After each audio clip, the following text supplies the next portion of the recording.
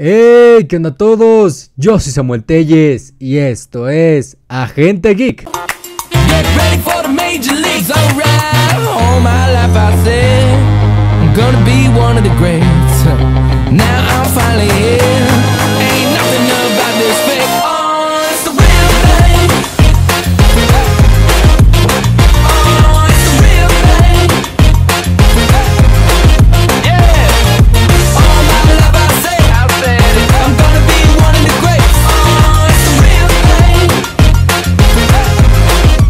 Una nueva película de Marvel se ha estrenado y el día de hoy vamos a hablar sobre Shang-Chi. Shang-Chi. Shang-Chi. Bueno, Shang-Chi, la leyenda de los 10 anillos. Ok, este video no va a tener muchos spoilers, espero. Así que no te preocupes si no has visto la película. Esto es más que nada para que te animes a ver la película. Así que empecemos.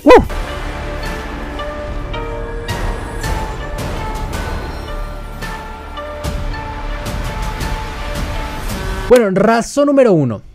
Es un producto Marvel. Ya sabemos que Marvel desde un tiempo acá ha tenido un estándar de calidad muy alto, un sello muy significativo, con buenas escenas de acción, buenos efectos especiales, o bueno, la gran mayoría de veces, los protagonistas que te encariñas con ellos y una historia que te atrae principalmente durante dos horas, dos horas y pico. Así que si realmente eres fan de esta franquicia, de este tipo de películas, te va a gustar esta película sí o sí, ya que conservan muchos de los sellos característicos que tienen sus películas. Razón número 2, los protagonistas. Tanto Simu Liu como Aquafina son realmente carismáticos en toda la película. Te encariñas con ellos de la manera más rápida posible y no quieres que les pase nada. Quieres estar al pendiente de cómo van a ser sus historias. Simu Liu como en el aspecto más heroico, más aventurero y Aquafina como el factor cómico que realmente te va a hacer reír la gran mayoría de la película. Razón número 3. Las peleas. Si realmente eres fan de las, del tipo de películas como de Jackie Chan o Bruce Lee, te va a encantar esta película, ya que maneja mucho del estilo de pelea de esas películas, como un estilo de artes marciales, que se filma como de manera de secuencia, que también tiene varios cortes rápidos. Sin embargo, también quieren experimentar como con cámara lenta en ciertas escenas que se ven muy bien, o algo totalmente diferente como estilo Avatar, que se puede mover el viento, la tierra, esos movimientos como estilo de baile místico, realmente se ven muy, muy, muy bien la gran mayoría de la película.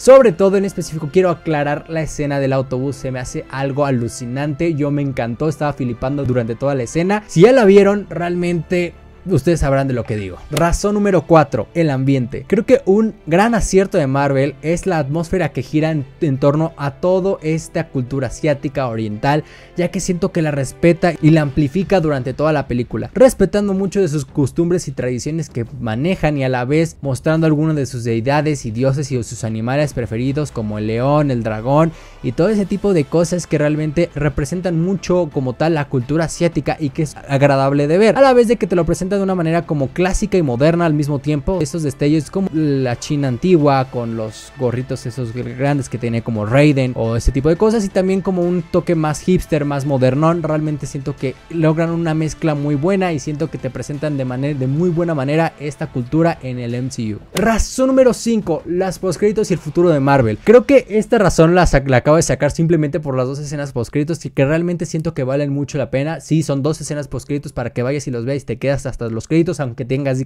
ganas de ir al baño como yo, ya que siento que estas dos escenas realmente sirven mucho para el futuro del MCU, te muestran cómo está parado tu protagonista y cuál va a ser su rol durante el resto de películas, cómo lo vamos a ver en, el, en futuros proyectos y claramente también en continuación suya, cuál va a ser lo siguiente que vas a ver en su historia. Siento que realmente estas últimas dos escenas postcritos se me hicieron algo alucinante y algo que realmente ya no sentía desde hace mucho tiempo con este tipo de escenas. Sin embargo, no todo es color de rosa. Aquí van algunas razones por las cuales no te encantaría ver esta película. En primer lugar, lo fantasiosa que es. Creo que en esta película te demuestran este ambiente fantástico, fantasioso, que puedes ver dragones, este, kaijus de manera pues como de, de dragón, leones gigantes con dientes, cosas que no tienen cabeza ni, ni cola, zorros, realmente eh, te presenta una atmósfera muy fantasiosa que si realmente no eres fan de este tipo de películas o de este tipo de criaturas, no te encantaría como tal mucho la película, ya que en el último acto abusan mucho de este de estas criaturas y siento que si no eres tan fan o no te acoplaste bien a esta presentación que te muestra Marvel de estas criaturas, sí se te va a costar mucho la pena terminar la película. Sin embargo, si realmente te gusta o te da, te da igual que lo veas o no, pues realmente vale la pena. En segundo lugar, considero que es un poco lenta en ciertas partes. Obviamente, la gran mayoría de escenas de acción son épicas, te mantienen entretenido. Sin embargo, en las escenas un poquito calmadas, sí siento que baja un poco el ritmo, sí siento que te, te llega a ser más pesada la película, a la vez de que comparten muchos de los clichés de típicas películas en el pasado. El típico este chavo que no quiere aceptar su destino porque su padre es malo y que al final de cuentas se vuelve la persona más humilde del mundo. Este tipo de películas que ya hemos visto en algunas ocasiones, no en el MCU nada más, sino también en otras películas que no son relacionadas al mundo de los superhéroes, que realmente si ya conoces ese tipo de historias, sí se sentirá un poquito de cliché. No vengas esperando una película 100% original porque realmente no lo es. A la vez de que la comedia siento que en algunos aspectos sí llega a escasearse un poquito eh, con cierto personaje que no es la que acabo de mencionar, con cierto personaje que no se me hacían tan graciosas sus escenas y que realmente pues no me la pasaba como carcajeándome a cada rato. Pero bueno, en mi opinión la película es una buena película de introducción de un personaje nuevo, te llegas a encariñar con él, puedes llegar como a sentirte identificado en cierta manera, pero realmente no considero que es una película magnífica, una de las obras de arte del el MCU o increíblemente genial como muchos la están catalogando, siento que es una película aceptable, una película palomera, una película que disfrutas al momento de verla. Sin embargo, esta es mi opinión, espero que te haya gustado el video y espero escuchar la tuya, espero que comentes, espero, espero, espero.